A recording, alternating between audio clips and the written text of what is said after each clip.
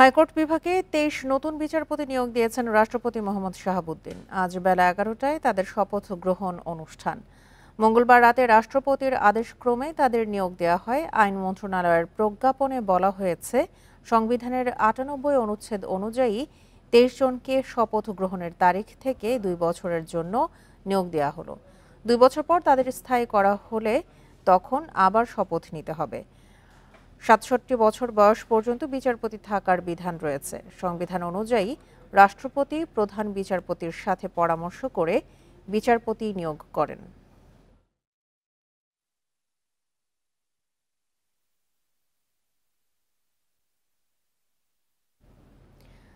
জুলাই গণহত্যা এবং ডক্টর ইউনুস ও শহীদ আবু সাইদকে নিয়ে ফেসবুকে আপত্তিকর মন্তব্য করায় বরখাস্ত হওয়া ম্যাজিস্ট্রেট তাবাসুম উর্মির বিরুদ্ধে মানহানির মামলা গ্রহণের নির্দেশ দিয়েছে আদালত।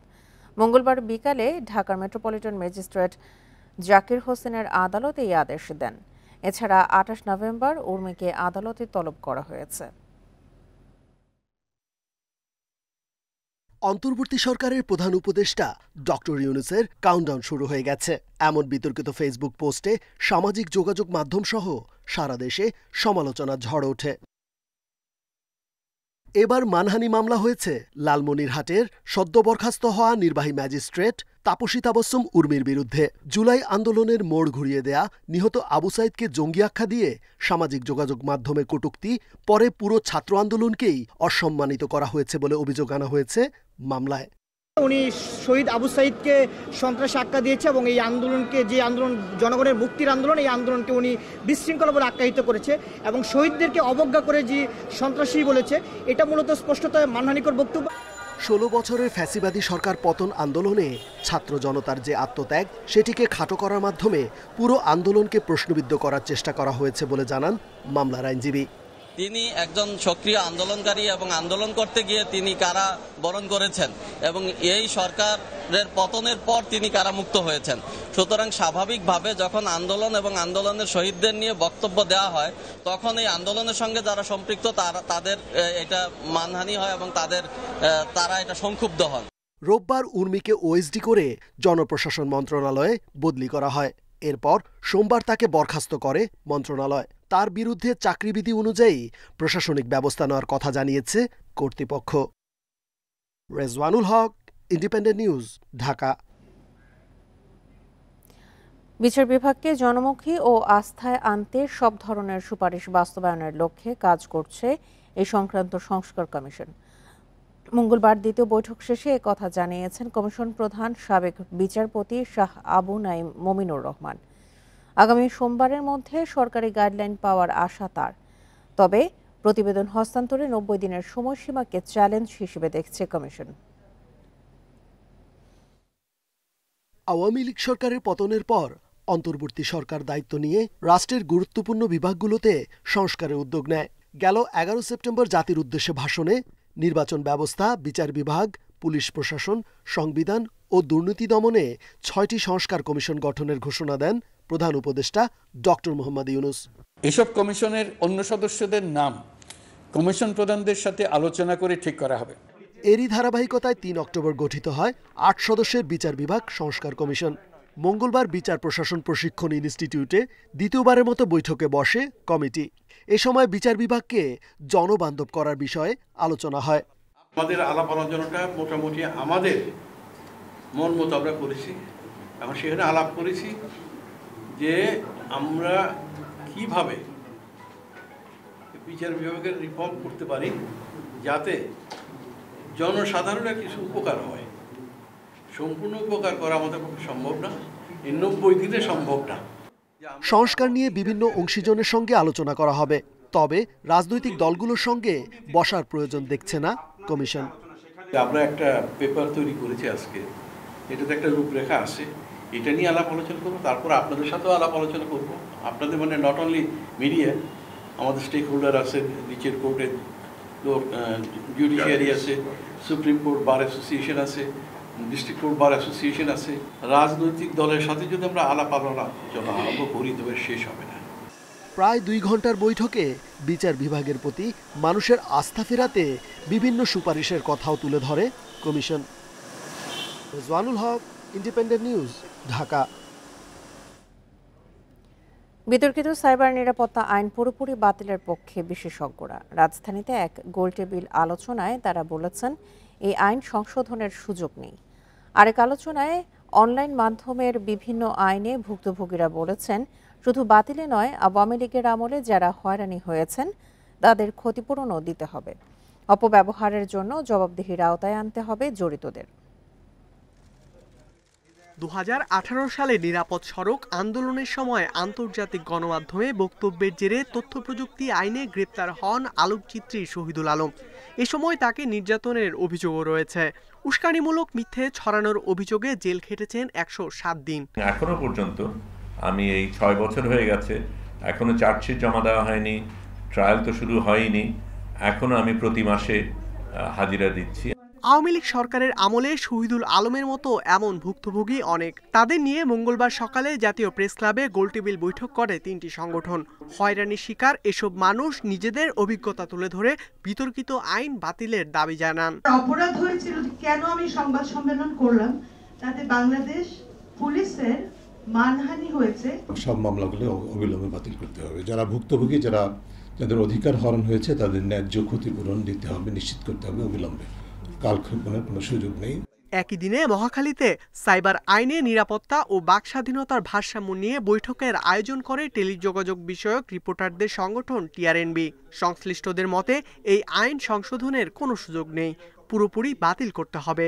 আসলে আইনটা করা হয়েছিল যাতে কন্টেন্ট নিয়ে আপনার একটা অপরাধ তৈরি করা যায় এবং সেটাতে শাস্তি দেওয়া যায়। বিশেষজ্ঞরা বলছেন বাক স্বাধীনতার ভারসাম্য রক্ষা করে প্রযুক্তি খাতে নিরাপত্তার জন্য নতুন আইন প্রয়োজন। আমি যখনই ইকোনমিক গ্রোথ চাবো আমি যখনই টেকনোলজি আনতে চাবো আমি সাথে সাথে ভালনারেবিলিটি তৈরি হচ্ছে।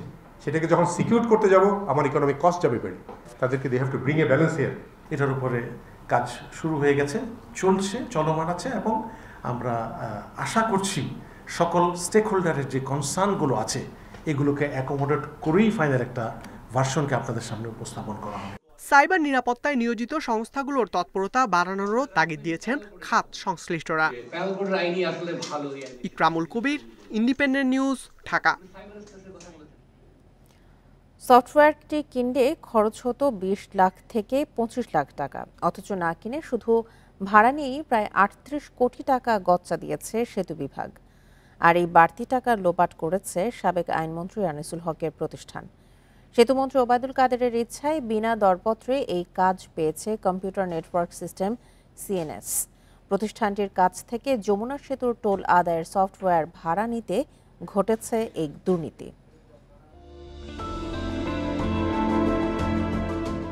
যমুনা সেতু, উত্তরবঙ্গের সঙ্গে রাজধানী ঢাকার প্রধান গেটওয়ে। উনিশশো আটানব্বই সালে উদ্বোধনের পর থেকে বাড়ছে গাড়ির চাপ। সেতুতে দিনে পারাপার হয় আঠারো থেকে উনিশ হাজার গাড়ি গট্টল আদায় এক কোটি সত্তর থেকে এক কোটি আশি লাখ টাকা। ঈদে যা ছাড়িয়ে যায় তিন কোটি। শুরুতে ঠিকাদার দিয়ে ঠিকমতো টোল আদায় হলেও জটিলতা দেখা দেয় দু হাজার ষোলো থেকে। এই সময় মামলা সংক্রান্ত জটিলতায় কোনো ঠিকাদার নিয়োগ দেওয়া যাচ্ছিল না। আর এই কারণে সেতু বিভাগ নিজস্ব জনবল দিয়ে টোল আদায়ের সিদ্ধান্ত নেয়। এদিকে নিজেরা টোল আদায়ের কাজটি না পাওয়ার বিষয় বুঝতে পেরে সিএনএস তাদের সফটওয়্যারটি গছিয়ে দেয় সেতু বিভাগকে। এজন্য তাদের সাথে সরকারের দশ মাসের চুক্তি হয় দু হাজার সতেরো সালের এপ্রিলে। কিন্তু সেতুমন্ত্রী ওবায়দুল কাদেরের ইচ্ছায় এই দশ মাসের চুক্তিকে দফায় দফায় বাড়িয়ে নেওয়া হয় গত আগস্টে সরকার পতন পর্যন্ত। হিসেব বলছে এই উননব্বই মাসে ভাড়া বাবদ সিএনএস প্রায় আটত্রিশ কোটি টাকা নিয়েছে সেতু বিভাগের কাছ থেকে। অথচ এক মাসের ভাড়ার চেয়েও কম খরচে সফটওয়্যারটি কেনা সম্ভব ছিল বলে জানান সংশ্লিষ্টরা। এরকম সফটওয়্যার আসলে খুবই সাধারণ একটা সফটওয়্যার। কারণ এই টাইপের সফটওয়্যার আসলে বাংলাদেশের যে কোনো খুব ছোট একটা কোম্পানিও যে হয়তো বিশ পঁচিশ জনের একটা কোম্পানিও তৈরি করতে পারে এবং এটার জন্য আসলে এত টাকা খরচ করার কোনো প্রয়োজন নেই। টুলের সফটওয়্যারটা আমরা বানাইছি। আমরা সফটওয়্যার সম্পর্কে অভিজ্ঞ মাস্টার। এই যে সফটওয়্যারটা সফটওয়্যারটা বানাইতে আপনি ধরেন ম্যাক্সিমাম বিশ থেকে পঁচিশ লাখ টাকা লাগে।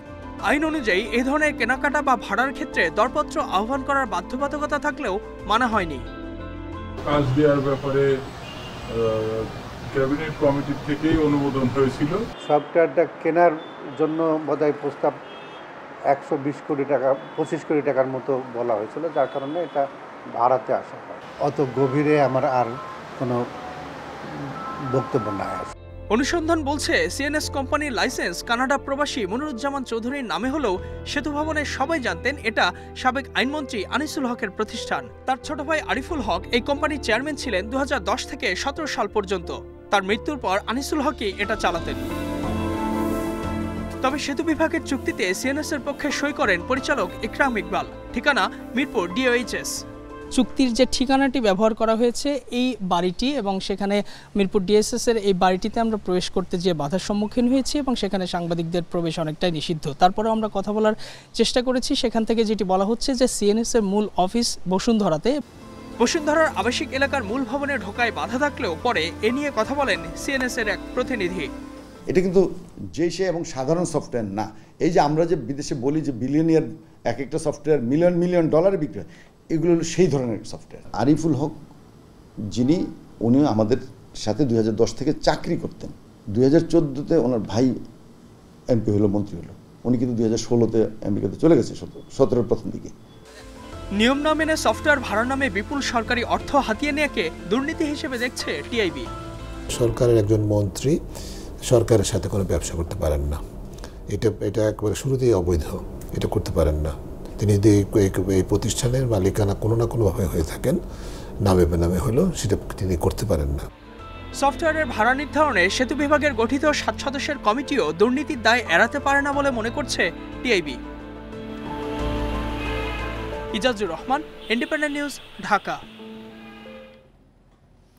Sheikh হাসিনার ভারত ছেড়ে আরব আমিরাতের শহর আজমানে অবস্থান করার গুঞ্জন আমলে নিয়েছে অন্তর্বর্তী সরকার। পররাষ্ট্র উপদেষ্টা তৌহিদ হোসেন জানান, বিষয়টি জানতে দিল্লি ও আরব আমিরাতের সঙ্গে যোগাযোগ করেছে ঢাকা। তবে এখনও নিশ্চিত কোনো তথ্য মেলেনি। মঙ্গলবার পররাষ্ট্র মন্ত্রণালয়ে এক ব্রিফিংয়ে এসব কথা বলেন তিনি। ভারতের দিল্লি ছেড়ে কোথায় ক্ষমতাচ্যুত প্রধানমন্ত্রী শেখ হাসিনা? এ নিয়ে চলছে জোর গুঞ্জন। কখনো বলা হচ্ছে মধ্যপ্রাচ্যের দেশ সংযুক্ত আরব আমিরাতের আজমান শহরে, কখনো বা বেলারুশে। এ বিষয়ে এক প্রশ্নের উত্তরে পররাষ্ট্র উপদেষ্টা জানান আরব আমিরাতে তার অবস্থান সম্পর্কে যে আলোচনা চলছে সে সম্পর্কে খোঁজ খবর নিচ্ছে অন্তর্বর্তী সরকার।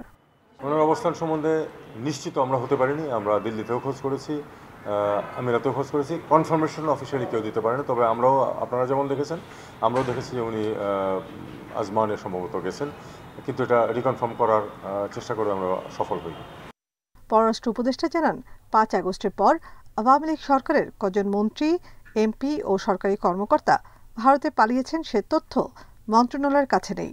প্রয়োজনে সে তালিকা দিল্লির কাছে চাওয়া হবে। পলাতকদের জন্য ট্রাভেল পাস দেওয়ার কোনো সুযোগ নেই, উল্লেখ করে তিনি জানান। যাদের বিরুদ্ধে মামলা হয়েছে, বিচারের স্বার্থে তাদের ফিরিয়ে আনার উদ্যোগ নেওয়া হবে। বাংলাদেশের মিশন ট্রাভেল পাস ইস্যু করতে পারে শুধুমাত্র দেশে ফেরার জন্য, অন্য কোনো দেশে যাওয়ার জন্য না। সেটার জন্য পাসপোর্ট লাগে। পাসপোর্ট তো ন্যাচারালি ইস্যু করা হবে না। তারা যদি দেশে ফিরতে চান, তাদেরকে অবশ্যই ট্রাভেল পাস ইস্যু করা যেতে পারে থিওরিটিক্যালি এবং তারা দেশে ফিরে আসতে পারে। ট্রাভেল পাস শুধুমাত্র one way travel to Bangladesh যদি মামলা যেহেতু হয়েছে বা হচ্ছে, যদি সেখান থেকে কোর্ট থেকে বলা হয় তাদেরকে হাজির করা হয়, অবশ্যই আমরা তখন তাদেরকে ফিরে আনার চেষ্টা করব। এর আগে ইটালির ভিসা প্রার্থী প্রতিনিধিদের সঙ্গে মন্ত্রণালয় বৈঠক করেন পররাষ্ট্র উপদেষ্টা। এ বিষয়ে তৌহিদ হোসেন জানান, আগামী ডিসেম্বরের মধ্যে বিশ হাজার ভিসা ইস্যুর আশ্বাস দিয়েছে ইটালি। গতি এখনও কম। আমরা চেষ্টা করব যে এই গতিটা যাতে বাড়ে যাতে করে নাফিজাতুল্লাহ ইন্ডিপেন্ডেন্ট নিউজ ঢাকা। শুরু হয়েছে বাঙালি হিন্দু সম্প্রদায়ের শারদীয় দুর্গোৎসব আজ মহাষষ্ঠী।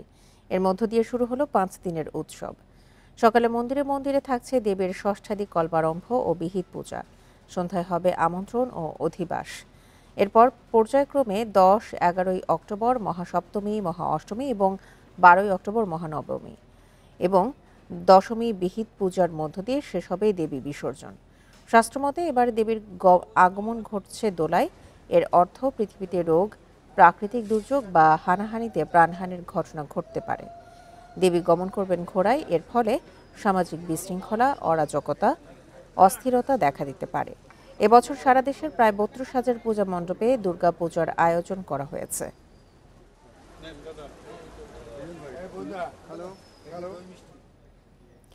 শারদীয় দুর্গোৎসবের আরও খবর জানাতে বগুড়া ও সিলেট থেকে যোগ দিচ্ছেন সহকর্মীরা। শুরুতেই যাচ্ছি বগুড়াতে সেখান থেকে জানাবেন সহকর্মী জোজেফ হোসেন। জোজেফ কল্পারম্ভের মাধ্যমে বিহিত পূজা আহ, কল্পারম্ভ এবং বিহিত পূজার যে আনুষ্ঠানিকতা সেসবের সবশেষ তথ্য নিয়ে জানাবেন।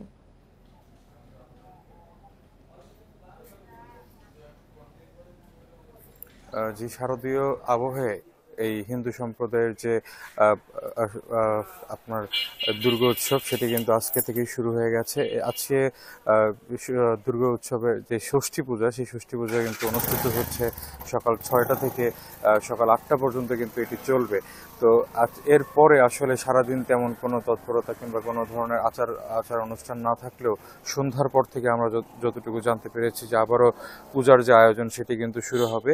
তো আসলে শারদীয় শারদীয় দুর্গোৎসব নিয়ে হিন্দু সম্প্রদায়ের যারা রয়েছেন, তাদের সাথে আমরা কথা বলেছি। তারা যেটি বলছেন যে, তারা বেশ উৎসব মুখর পরিবেশেই এই শারদীয় দুর্গোৎসবটি তারা পালন করছেন এবং তারা আগের যেই যে ধরনের যে সমস্যাগুলো ছিল, যে ধরনের যে অপ্রীতিকর ঘটনাগুলো ছিল, সেগুলো যাতে আর না হয় জন্য কিন্তু তারা দেবীর কাছে আরাধনা করবেন এবং প্রার্থনা করবেন বলে আমাদেরকে জানিয়েছেন। এছাড়া সব ধরনের অশুভ সংকেত অশুভ জিনিস থেকে তাদেরকে যাতে বিরত রাখা হয় সেই জন্যও কিন্তু তারা প্রার্থনা করবেন দেবীর কাছে আমাদেরকে সেটি তারা জানিয়েছেন। আপনাকে একটি বিষয় জানিয়ে রেখি যে বগুড়ায় এখনও পর্যন্ত প্রায় ছয়শো বত্রিশটি আমাদের কাছে যে বগুড়া পূজা উদযাপন পরিষদ রয়েছে তাদের মধ্যে দুই, ছয়শো বত্রিশটি পূজা মণ্ডপ করা হয়েছে পুরো বগুড়া জেলাতে। এর মধ্যে আসলে এর মধ্যে ছয়শো বত্রিশটি পূজা মণ্ডপে আমরা যতদূর জানতে পেরেছি যে আনসার, ভিডিপি, গ্রাম পুলিশ পুলিশ, র্যাব এবং অন্যান্য যে আইনশৃঙ্খলা বাহিনীর সদস্যরা রয়েছেন, তারা কিন্তু মোতায়েন রয়েছেন এবং তারা সার্বক্ষণিক নিরাপত্তার জন্য কিন্তু এখানে অবস্থান নিয়েছেন এবং তারা বলছেন যে যে কোনো ধরনের নাশকতা কিংবা এই পূজাকে ঘিরে যদি কোনো ধরনের নাশকতা তৈরি করার চেষ্টা করা হয়, তাহলে কিন্তু তারা প্রতিহত করবেন। তো এই পূজাকে ঘিরে আসলে হিন্দু সম্প্রদায়ের যারা ভক্তরা রয়েছেন তারা বলছেন যে আগামীতে সপ্তমী অষ্টমী নবমী এবং দশমী এবং দেবীকে বিদায়ের যে বিষয়টি থাকে সেই বিষয়টি পর্যন্ত তারা আসলে সব ধরনের সহায়তা চেয়েছেন আপনি তথ্য সংগ্রহ করতে থাকুন আমরা এবার যাচ্ছি সিলেটে সেখান থেকে জানাবেন সহকর্মী রানা মজুমদার।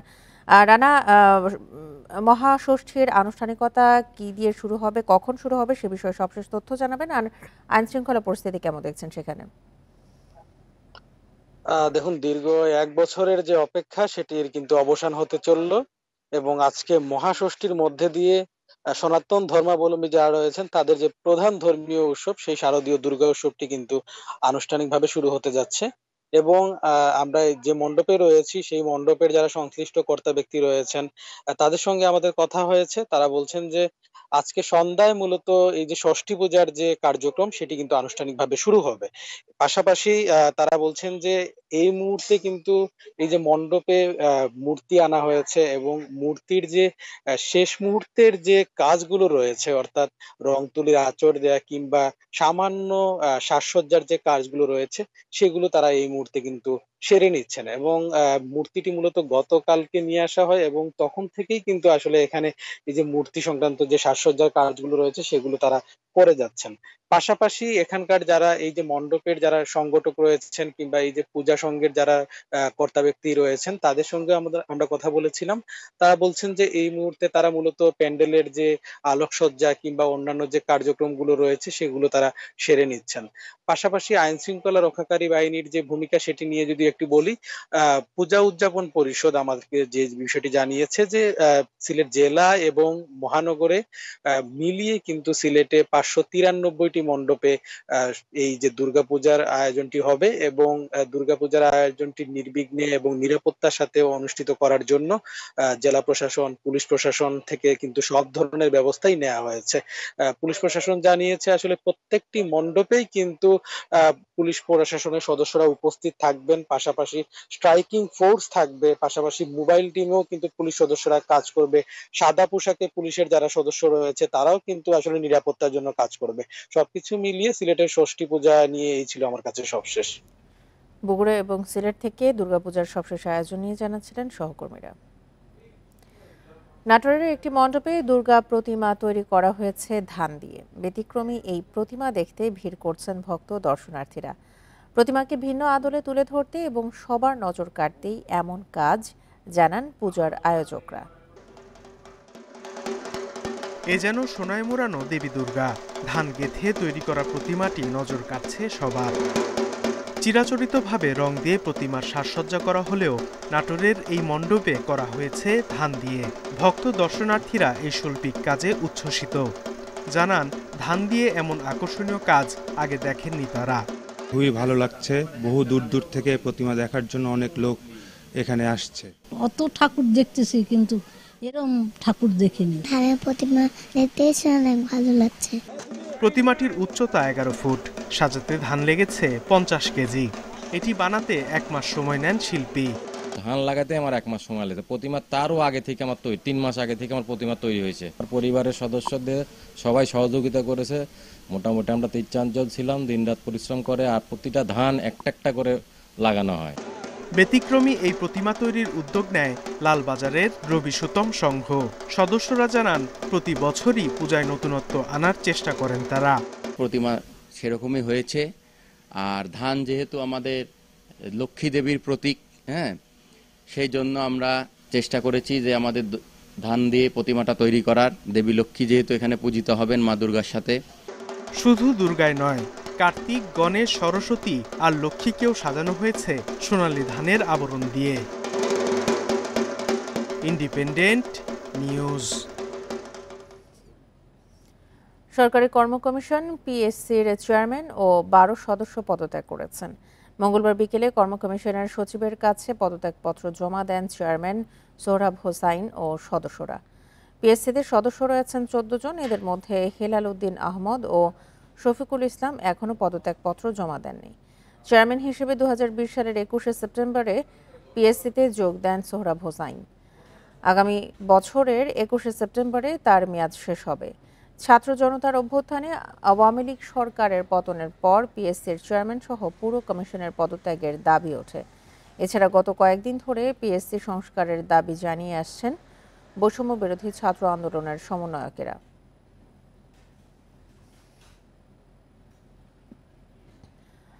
শেরপুরের এবারের বন্যায় সবচেয়ে বড় ক্ষতি হয়েছে ফসলের। ভয়াবহ বন্যায় জেলার পাঁচ উপজেলায় পাঁচশো কোটি টাকার বেশি ফসলের ক্ষতি হয়েছে। ফসল হারিয়ে দিশেহারা কৃষক তাদের দাবি সরকারি সহযোগিতার। খাদ্য উদ্বৃত্ত জেলা শেরপুরে এবার প্রায় বিরানব্বই হাজার হেক্টর জমিতে আমন ধানের চাষ করা হয়েছে। এর মাঝে বন্যায় একত্রিশ হাজার হেক্টর জমির আবাদ ক্ষতিগ্রস্ত হয়েছে। আমনের চারা ডুবে যাওয়ায় দিশেহারা কৃষকরা। যদিও কিছু ধান আগেই আছে থাকলেও ওগুলা আবার পানি যাওয়ার সঙ্গে সঙ্গে শুয়ে পড়বে কারণ ঘোলা পানি। যে ধানটা হইব আঙ্গুর খাওয়াই হব না ঋণের টাকা করতে দিন প্রায় এক হাজার হেক্টর সবজি ক্ষেত ডুবে যাওয়ায় আসন্ন মৌসুমে কাঙ্ক্ষিত সবজি উৎপাদন হবে না। কৃষকরা বলছেন ক্ষতি পুষিয়ে নিতে সরকারি সহযোগিতা দরকার। ক্ষতি হয়ে গেছে গা। এখন তল হয়েই আছে। চার দিন পাঁচ দিন তো না। রাষ্ট্রীয়ভাবে যেগুলো আমাদের সহজ সাহায্য সহযোগিতা করে তাহলে হয়তো বা কৃষক আমরা যারা আছি তারা কিছু উপকৃত হব। কৃষি বিভাগ জানিয়েছে চলতি মৌসুমে প্রায় দুই লাখ নব্বই হাজার টন চাল উৎপাদনের লক্ষ্যমাত্রা ছিল। ক্ষতি হয়েছে এক লাখ বাষট্টি হাজার টন যার বাজার মূল্য পাঁচশো কোটি টাকার বেশি। শেরপুর জেলা একটি ফুড সারপ্লাস এরিয়া এখানে কৃষকরা যাতে ক্ষতিগ্রস্ত না হয় এই ভয়াবহ ক্ষতি যাতে কাটিয়ে উঠতে পারে সেজন্য আমাদের সরকার উপযুক্ত ব্যবস্থা নেবে। বন্যার কারণে এবার জেলাতে খাদ্য ঘাটতির আশঙ্কা করছেন কৃষিবিদরা। ইন্ডিপেন্ডেন্ট নিউজ বন্যা পরিস্থিতি নিয়ে আরও জানাতে ময়মনসিংহ থেকে যোগ দিচ্ছেন সহকর্মী আবু সালেহ মুসা। মুসা, ময়মনসিংহে কি পরিমাণে বন্যায় ক্ষয়ক্ষতি হয়েছে আর ফসলি জমির কি অবস্থা? কৃষকরা কি বলছেন? দেখুন, ময়মনসিংহে আজকে কিন্তু বন্যা পরিস্থিতি অনেকটাই উন্নতি হয়েছে। বেশ কিছু এলাকায় গত রাত থেকে অনেকটাই পানি নেমে গেছে, তবে বন্যার যে ক্ষয়ক্ষতি সেটি কিন্তু আস্তে আস্তে কিন্তু দৃশ্যমান হচ্ছে। যেই ইউনিয়নগুলিতে পানিতে নিমজ্জিত আছে এখনও সেই এলাকার ধানগুলি কিন্তু নষ্ট হয়ে গেছে এবং সেই ক্ষতির পরিমাণ কিন্তু প্রায় এক হাজার কোটি টাকা বলে প্রাথমিকভাবে ধারণা করা হয়েছিল। এখন দেখা যাচ্ছে সেই ক্ষতির পরিমাণ হয়তো আরও বেড়ে যাবে। সবচেয়ে বেশি ক্ষতি হয়েছে আমন ফসলের এবং ধোবাউড়ার তিনটি ইউনিয়ন হালুয়াঘাটের তিনটি ইউনিয়ন। এছাড়াও ফুলপুরের যে আহ, চারটি ইউনিয়ন ডুবে আছে সেই ইউনিয়নগুলির যে আমন ফসল, সেগুলি কিন্তু সম্পূর্ণভাবে নষ্ট হয়ে গেছে এবং সবচেয়ে বেশি বন্যায় ক্ষয়ক্ষতি এই আমন ফসলের। তারপরেই কিন্তু হচ্ছে মাছের ক্ষতি হয়েছে প্রায় বারো হাজার পুকুরের মাছ কিন্তু ভেসে গেছে। এছাড়াও কিন্তু রাস্তাঘাট অবকাঠামোগত যে ক্ষতি, সেটাও কিন্তু অনেকটাই হয়েছে। শুধুমাত্র ধোবাওড়াতেই একশো সত্তর কিলোমিটার পাকা রাস্তা কিন্তু নষ্ট হয়ে গেছে। এছাড়াও বিভিন্ন বাড়িঘর, দোকানপাট বন্যার পানি নেমে যাওয়ার পর আমরা দেখেছি যে সেখানে কিন্তু ধসের মতো হয়েছে ধ্বংসাবেশ যেটা আমরা সেটা দেখতে পেয়েছি। সেখানেও ক্ষতির পরিমাণটা কিন্তু অনেক এবং মানুষজন যেটা বলছে যে আসলে তাদের এখন ঘুরে দাঁড়ানোর জন্য সহযোগিতা প্রয়োজন। সরকার থেকে যদি সে ধরনের সহযোগিতা না করা হয়, তাহলে কিন্তু যারা আমন ফসলের ক্ষতি হয়েছে, তারা কিন্তু আসলে ঘুরে দাঁড়ানোর মতো কোনো অবস্থা নেই। তাদের একমাত্র অবলম্বন ছিল এই আমন ফসল। গতকালকে আমরা ধবাওড়ার বেশ কয়েকটি ইউনিয়ন ঘুরেছি। কৃষকরা কিন্তু জানিয়েছেন যে তাদের একমাত্র অবলম্বন ছিল এই আমন ফসল এবং সরকার থেকে যদি পর্যাপ্ত সহায়তা দেওয়া না হয় সেক্ষেত্রে কিন্তু তারা কিন্তু ঘুরে দাঁড়াতে পারবেন না। তবে এ বিষয়ে কিন্তু ধোবাউড়ার আহ, উপজেলা নির্বাহী কর্মকর্তা নিশা শারমিন আমাদেরকে জানিয়েছেন যে আসলে কৃষকদেরকে সর্বাত্মক সহযোগিতা করা হবে তারা যেন ঘুরে দাঁড়াতে পারে। সেই বিষয়টা তারা কিন্তু খোঁজখবর রাখছেন এবং সেই সেই বিষয়ে তারা কিন্তু ব্যবস্থা করবেন বলে আমাদেরকে জানিয়েছেন। ময়মনসিংহ থেকে বন্যা পরিস্থিতির সবশেষ তথ্য নিয়ে জানাচ্ছিলেন সহকর্মী আবু সালেহ মুসা। খুলনা নগরের শেরে বাংলা রোডের নামফলকবিহীন বাড়ি মূলত সাবেক প্রধানমন্ত্রী শেখ হাসিনার চাচার বাড়ি। এই বাড়ির পাঁচ ছেলের নিয়ন্ত্রণে ছিল খুলনা সহ দক্ষিণ পশ্চিমাঞ্চল। রাজনৈতিক ক্ষমতার অপব্যবহার করে নানা কাজ করার অভিযোগ তাদের বিরুদ্ধে। তাদের সাথে মতবিরোধের কারণে টিকতে পারেনি নিজ দলের অনেক নেতাকর্মীরাও। গণ অভ্যুত্থানে আওয়ামী লীগ সরকারের পতনের পর খুলনা শেখ বাড়িতে তাণ্ডব চালায় স্থানীয় মানুষ। বাড়িটি এখন ধ্বংসস্তূপে পরিণত হয়েছে। এখানে থাকতেন শেখ হেলাল সহ সাবেক প্রধানমন্ত্রী শেখ হাসিনার পাঁচ চাচাতো ভাই আর শেখ হেলালের ছেলে শেখ তন্ময়। ষোলো বছর ধরে তিনজন এমপির বাসস্থান হওয়ায় এই বাড়িটি হয়ে ওঠে দক্ষিণ পশ্চিমাঞ্চলের ক্ষমতার কেন্দ্রবিন্দু। রাজনৈতিক কমিটির পদ আর নির্বাচনে মনোনয়ন বাণিজ্য চলত এখানে। হিলাল সাহেবের নেতৃত্বে আমাকে ওনারা ডেকে নিয়ে তাদের মনোনীত প্রার্থী বিধান রায়কে এখানে তারা সমর্থন করে এবং আমাকে ডেকে নিয়ে আমার লোকজন তার একদিন আগে বাইশ জন লোককে ধরে নিয়ে জেলে পাঠায়। শেখ পরিবারের পাঁচ ভাই ও তাদের স্ত্রী সন্তানদের নামে রয়েছে একশোটির মতো জাহাজ। খুলনা নৌ পরিবহন মালিক সমিতির শীর্ষ পদ দুই হাজার এগারো সাল থেকে ছিল তাদের দখলে। খুলনা অঞ্চলের সরকারি প্রতিষ্ঠানে টেন্ডার নিয়ন্ত্রণ করতেন তারা। চাঁদা না দিয়ে কোনো ঠিকাদারি কাজ করতে পারতেন না। আমরা সিরিয়াল অনুযায়ী অন্য অন্য জাহাজ থেকে মাল নিয়ে করতাম। পরবর্তীকালে ওনাদের যদি সুরশিকের কোনো কার্গো না আসতো, তাহলে দুই চারটে কার্গো ক্যারিয়ারের মাধ্যমে ওনারা নিত। কিন্তু দেখা গেল ঘাটে আসলে অতি উৎসাহিত কিছু লোক তাদেরকে আমরা বলা লাগে না, তাদেরটা খালি করার জন্য ব্যস্ত থাকে শেখ পরিবারকে চাঁদা দিয়ে খুলনাতে কেউ ব্যবসা করতে পারে না। তারা LGD routes and highway, PWD, সবই তাদের নিয়ন্ত্রণে। আমার খুলনা জেলা নির্বাহী প্রকৌশলী এলজিডি আনিসুর রহমান স্যার সে সেক্সুয়ালের নামে এলজিডি থেকে চাঁদা তুলতেন। বিশ্ববিদ্যালয় সহ বিভিন্ন প্রতিষ্ঠানের নিয়োগ বাণিজ্যের অভিযোগ রয়েছে এই পরিবারের বিরুদ্ধে। তাদের টাকা না দেয় সঠিক মূল্যায়ন থেকে বঞ্চিত হয়েছে আওয়ামী লীগের অনেক ত্যাগী নেতা। রাজনীতির জন্য আমাদের গণতান্ত্রিক ব্যবস্থার জন্য এবং ক্ষমতার বিকেন্দ্রীকরণ বলি অথবা আইনের শাসন বলি সব কিছুর জন্য আসলে সামাজিক শৃঙ্খলা বলি আমরা সামাজিক শান্তির কথা বলি সেক্ষেত্রে আসলে একটা নেতিবাচক প্রভাব এই পরিবারের মাধ্যমে পড়েছে। পাঁচ পর থেকে শেখ হাসিনা চাচাতো পাঁচ ভাইয়ের খোঁজ নেই। খুলনা বাগেরহাটের বিভিন্ন থানায় এরই মধ্যে তাদের বিরুদ্ধে বেশ কয়েকটি মামলা হয়েছে। Abhijit Pal Independent News Khulna. সাগরের তলদেশে পাইপলাইন দিয়ে জ্বালানি তেল পরিবহনে দক্ষ স্থানীয় কোনো কোম্পানি নেই। বিদেশি কোনো প্রতিষ্ঠানকেও এজন্য নিয়োগ দেওয়া হয়নি। তাই সুফল মিলছে না সিঙ্গেল পয়েন্ট মোরিং বা এসপিএম প্রকল্পের। বহির্নগর থেকে পাইপলাইনে তেল খালাস কার্যক্রমে গতি ও অর্থ সাশ্রয়ে এসপিএম প্রকল্প চালু, জরুরি বলে মনে করছেন সংশ্লিষ্টরা। মহেশখালীতে জাহাজ থেকে গভীর সমুদ্রের নিচ দিয়ে জ্বালানি তেল পাইপলাইনের মাধ্যমে চট্টগ্রামে খালাসের জন্য এসপিএম প্রকল্প চালু করা হয় গত বছরের জুলাই মাসে। সাড়ে আট হাজার কোটি টাকা ব্যয়ে এজন্য বসানো হয় একশো পঁয়ত্রিশ কিলোমিটারের দুইটি পাইপলাইন, যা মাদার ভেসেল থেকে পাম্পিংয়ের মাধ্যমে আসবে চট্টগ্রামের ইস্টার্ন রিফাইনারিতে। এতদিন বহির্নোঙ্গর থেকে জাহাজ যোগে তেল খালাস করা হলেও মাত্র পাঁচ দিনের ব্যবধানে দুটি জাহাজে বিস্ফোরণ ও আগুন লাগার পর ফের আলোচনায় সিঙ্গেল পয়েন্ট মুরিং, এসপিএম প্রকল্প। জ্বালানি তেল পরিবহন ব্যবস্থা নিরবিচ্ছিন্ন রাখতে বিদেশি জাহাজ ভাড়া করতে হচ্ছে বিএসসিকে।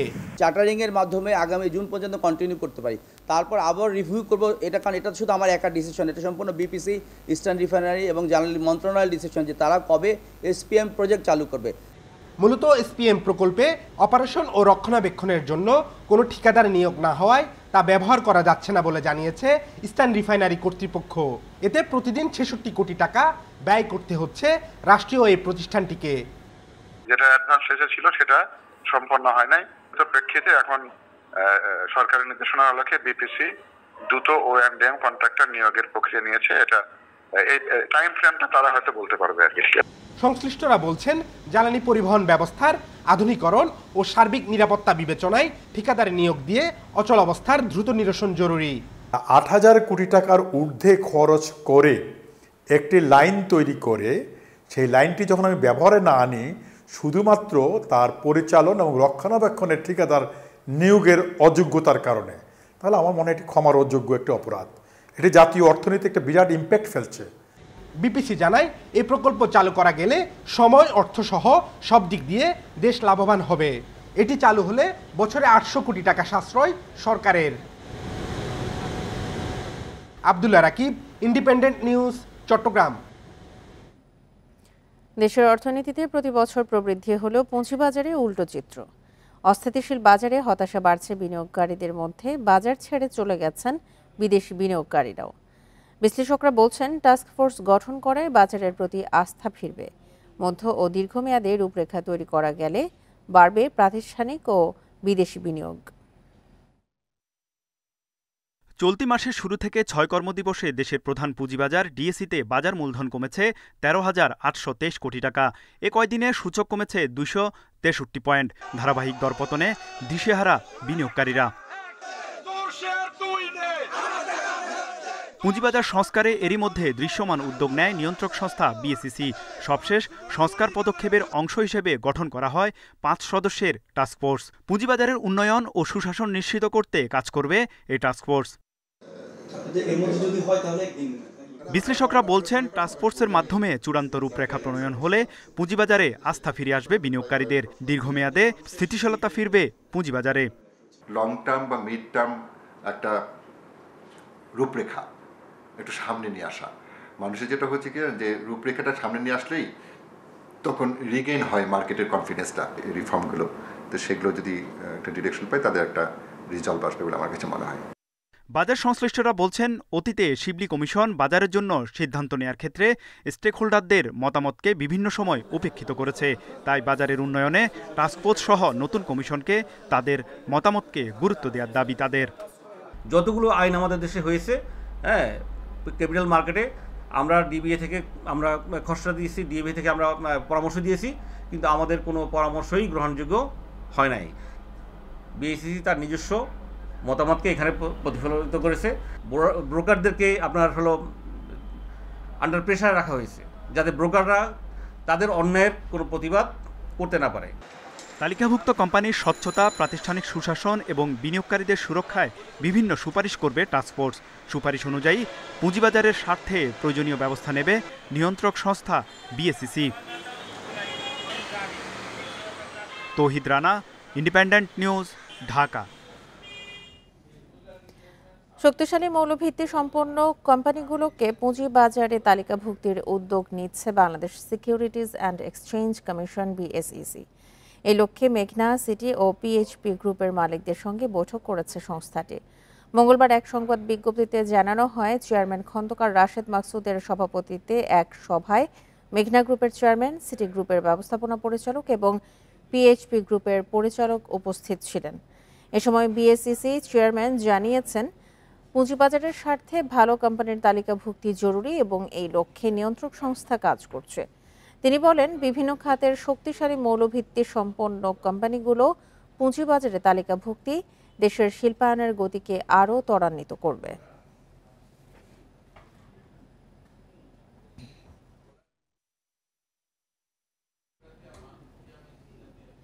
শারদীয় দুর্গোৎসব ঘিরে কিশোরগঞ্জের কটিয়াদিতে জমে উঠেছে ঢাক ঢোলের হাট।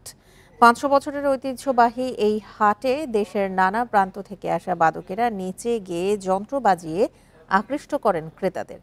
পূজার জন্য সেখান থেকে বাদ্যযন্ত্র সহ বাদক চূড়ান্ত করেন পূজারীরা। বাদ্য বাজিয়ে লাখ টাকা পর্যন্ত রয়েছে সম্মানের ব্যবস্থা। ঢাকঢোল কাসর ঘণ্টার শব্দে মুখর, কিশোরগঞ্জের কটিয়াদির পুরাতন বাজার। বাদ্যযন্ত্রের তালে পূজারীদের মন জয়ের চলছে চেষ্টা। বায়নার অঙ্ক নিয়ে দর কষাকষিও থেমে নেই। সবকিছু মিলে গেলে বাদকদের মহাষষ্ঠী থেকে প্রতিমা বিসর্জনের দিন পর্যন্ত চুক্তিবদ্ধ করছেন পূজারীরা। গাজীপুর থেকে আসছি। আমার সাথে সাতজন আছে আমাকে নিয়ে। এখন আমার ভাড়া হয়ে গেছে ছাব্বিশ হাজার টাকা। এখন পুজো যে কদিন আছে কদিন বাজাবো। প্রতি বছর দুর্গ উৎসব ঘিরে রাজধানী সহ বিভিন্ন জেলা থেকে বাদকেরা জড়ো হন কটিয়াদির হাটে।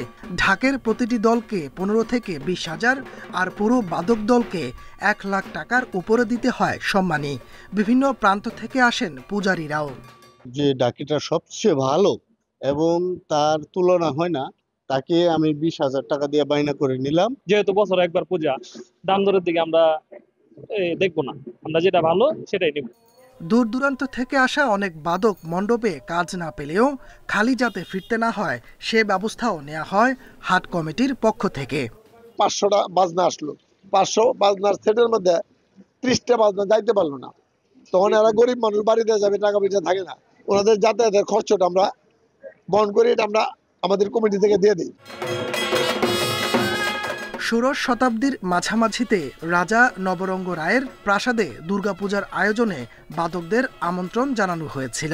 সেই রেওয়াজ অনুসরণেই বসছে ঐতিহ্যবাহী ঢাকঢোলের এই হাট। Independent News. অতিরিক্ত যানবাহনের চাপে ঢাকা টাঙ্গাইল বঙ্গবন্ধু সেতু মহাসড়কে চোদ্দ কিলোমিটার যানজটের সৃষ্টি হয়েছে। এ নিয়ে আরও জানাতে টাঙ্গাইল থেকে যোগ দিয়েছেন সহকর্মী মামুনুর রহমান। মামুনুর এখন এই যানজটের কি অবস্থা দেখতে পাচ্ছেন ভোগান্তি নিয়ে জানাবেন কথা হচ্ছে যে যানজটের যে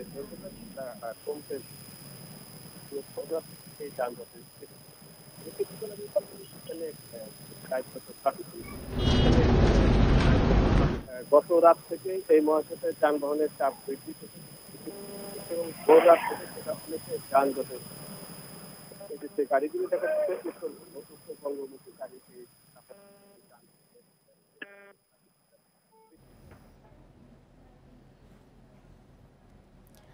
ঢাকা টাঙ্গাইল বঙ্গবন্ধু মহাসড়কে যানজটের সৃষ্টি হয়েছে নিয়ে বিস্তারিত জানাচ্ছিলেন আমাদের সহকর্মী মামুনুর রহমান। আর ছিল এখনকার মতো ইন্ডিপেন্ডেন্ট সংবাদে। ইন্ডিপেন্ডেন্ট টেলিভিশনের সব খবর আরও বিস্তারিত জানতে চোখ রাখুন ফেসবুক ইউটিউব এবং এক্সে ধন্যবাদ সবাইকে।